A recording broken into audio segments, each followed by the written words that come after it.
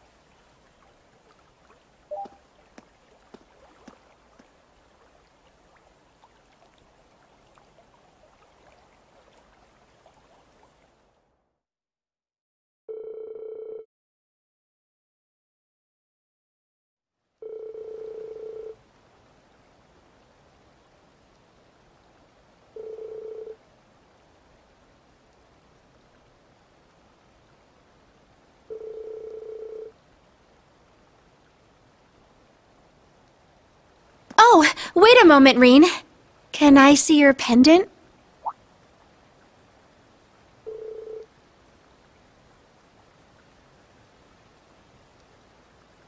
Lux illumine dies eum. All right, that should do it.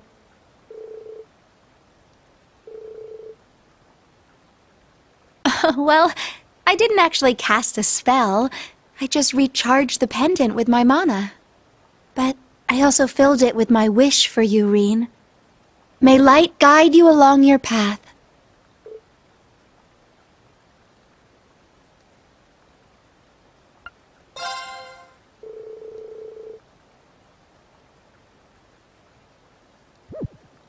Huh? Um, why?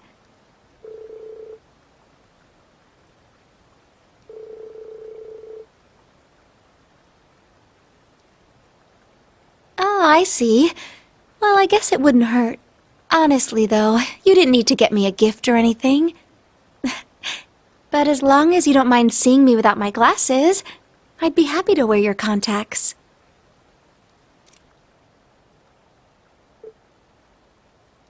Um, Rean?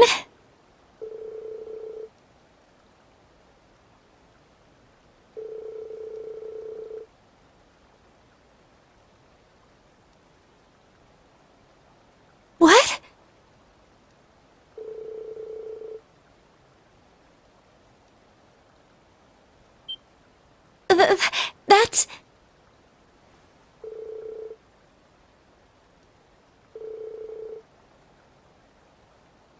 Uh... All right, I'll look forward to it.